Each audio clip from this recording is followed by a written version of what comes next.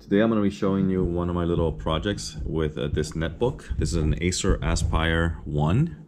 It's uh, one of those early uh, inexpensive uh, notebooks that runs an Intel Atom CPU. This came originally with Windows XP and this unit has uh, the extended battery installed so it, it looks a little bit bulky in the back but it's it's a nice little compact case as you can see it's a little package that has VGA out. It's got an um, ethernet port here USB audio and an SD card reader. Uh, on the other side it has the uh, AC adapter charge port right there. And it has two USBs um, what else? In the back things are easy to access. You can have you have the the um, hard drive underneath this this cover and uh, RAM underneath this cover. I believe this one has um, a wireless adapter in there uh, but I'm, I'm, I may be wrong about that one. I haven't opened that cover. And um, I want to show you what I did with this particular unit I wanted to see if I can make this into a retro gaming laptop and I tried installing DOS 7.0 um, to see if I could get drivers for but for the sound working on this but it has one of those AC97 um, uh, you know uh, Windows only sound cards and getting drivers for them that work under DOS um, proved to be very difficult. Um, there might be ways that you can do that. I know that there's a USB um, DOS driver out there, uh, but that's mostly um, uh, to set up external uh, CD-ROM drives or flash drives um, so that you can access them from DOS as a disk. I couldn't find any drivers that were using that interface for uh, creating sound. And this laptop unfortunately doesn't have any parallel port, so I can't just install uh, one of those parallel port uh, AdLib cards to have a, a, true native DOS experience. So what I did instead was I installed um, Lubuntu Linux on this, and I'm using DOSBox. And it actually performs really well. So I'm gonna go with, over it um, with you. I'm gonna load it up and uh, then we'll um, try some of the benchmarks and games that I have installed here. All right, so let's get started. And we're up. So uh, on this screen, you can see the uh, Linux desktop. Like I said, this is Lubuntu, and um, I'm gonna run the terminal here to see what, what the CPU information is. Um, so if I look at the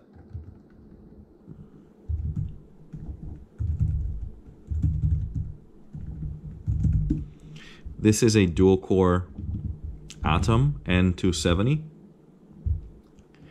and it's running at 1.6 gigahertz uh, or 800 megahertz if it's on um, battery power.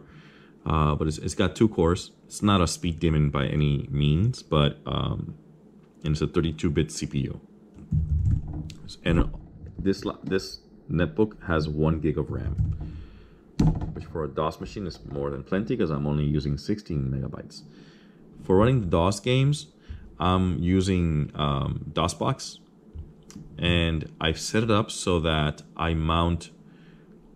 I first of all I start up in full screen when I load up DOSBox and I mount a folder called DOS C drive as the main drive. So, and then I have the auto exec going to C. And if I type, uh, if I check my directory on the C drive, I have uh, several things installed. I have Doom 2, I have a bunch of DOS benchmarks, I have Death Rally, Duke 3D, Heretic, and Wolf 3D. So let's go to DOS Bench really quick so we can take a look at how this performs. So this is a, a, DOS benchmark pack by Phil's Computer Lab, and it has a bunch of things here that you can try. Um, so I was experimenting with this laptop, and um, I, I, and I, I was playing with the speed settings for DOSBox. DOSBox allows you to uh, change the how, how much CPU time you give to DOSBox.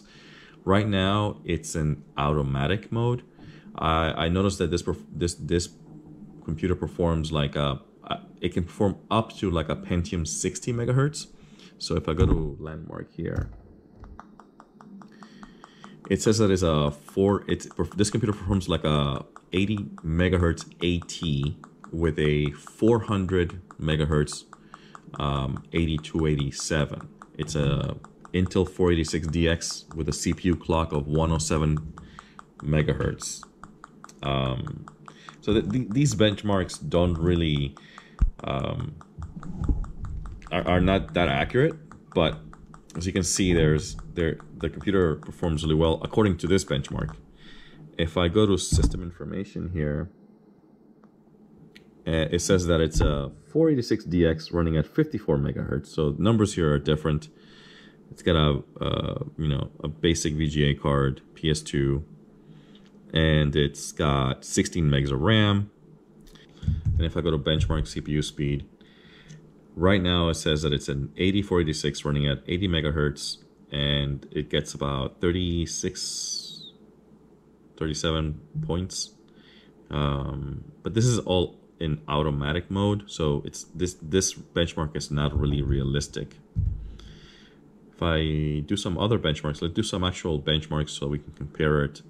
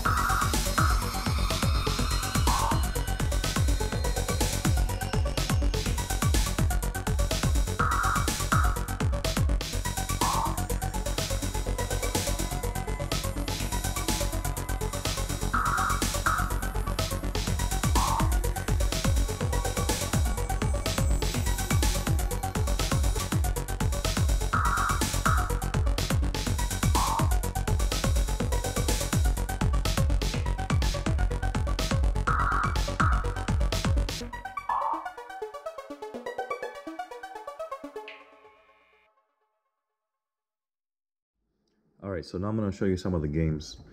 Um, so let's start with Doom 2.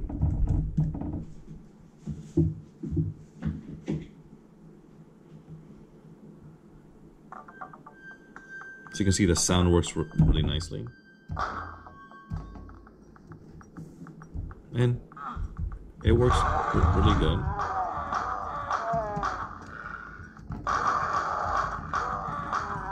I'm not the best player, but Performance is adequate.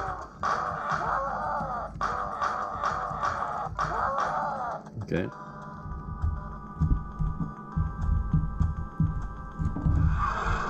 So as a portable machine for playing Doom games and things like that, does pretty well. Okay, so let's quit this. And we can go to the next game. So the next game is we can try Wolfenstein 3D, which is less demanding than Doom, so it should do a great job with this.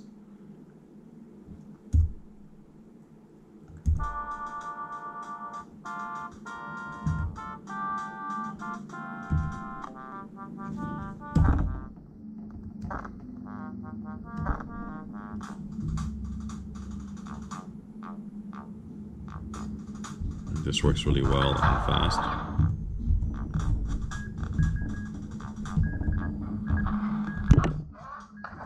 Yep.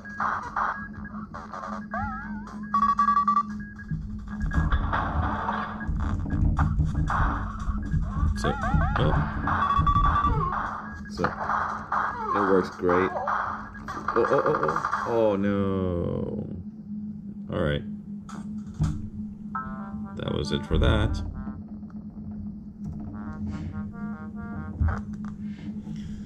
Let's try Heretic.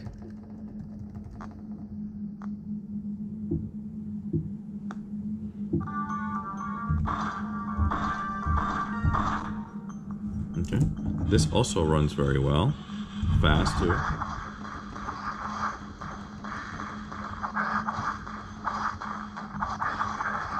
Oh my god, I'm off.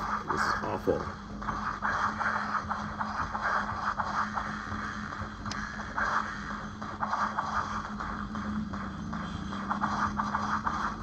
One thing that this computer does have that I don't like is a really tiny small keyboard. So it's very easy to press the wrong key, especially with the fact that the control, alt, and function keys are really tiny. And the arrow keys are super tiny as well. So you can easily press the wrong key. Um, it's, it isn't happening to me right now, but in the past it does happen. And um, um, let's try Death Rally before we go to Duke 3D. So, Rally. This is a cool little game with some, um, like a pseudo 3D effect as well. Always impressed what with what they were able to do back in the 90s without um, real 3D acceleration in hardware.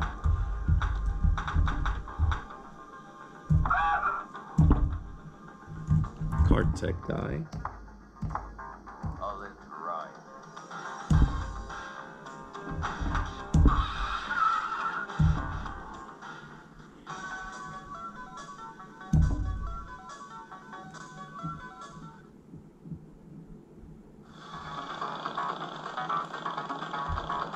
Oh, I really like those 3D. So you see I'm just, this is a top-down view of a race. Oh. Oh, something happened to my car. And it works really well.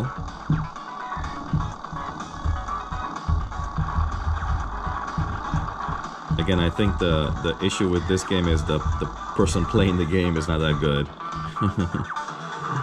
Alright, so I'm gonna exit this. Again, my goal is just to show that these games work very, very well and are performant. If you'd like to see any games that you have in mind on uh, any DOS games that you'd like for me to try here, or any other applications, let me know in the comments.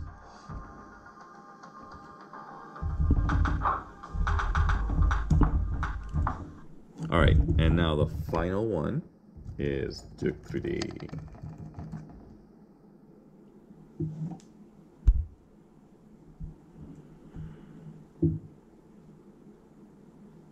This is the shareware version.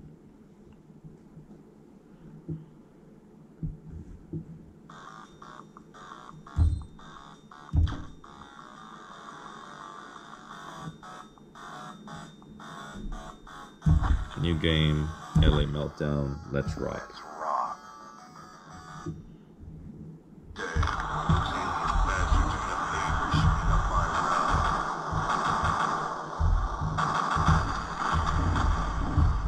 Can see, it works fairly well. Um,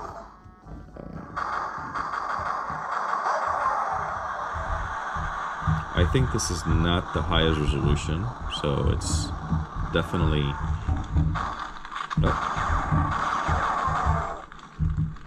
but definitely very playable.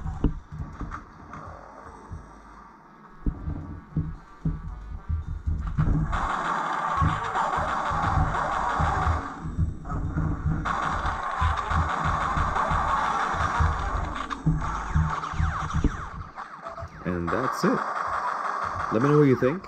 if you think I should try something else, let me know. Subscribe if you like to see this kind of stuff. I, I post, I do a lot of weird experiments with uh, old hardware, that, and um, I'm playing some other videos um, with this machine and other machines. Maybe I'll, I'll try again to get um, uh, Windows Windows XP uh, installed on this machine and then try these DOS games under Windows XP to see if I can get the sound working and uh, and then we can compare what what the performance difference is between DOSBox and um, and and native DOS. Well, DOS running under Windows XP. Um, let me know if you'd like to see some of that, and um, until next time.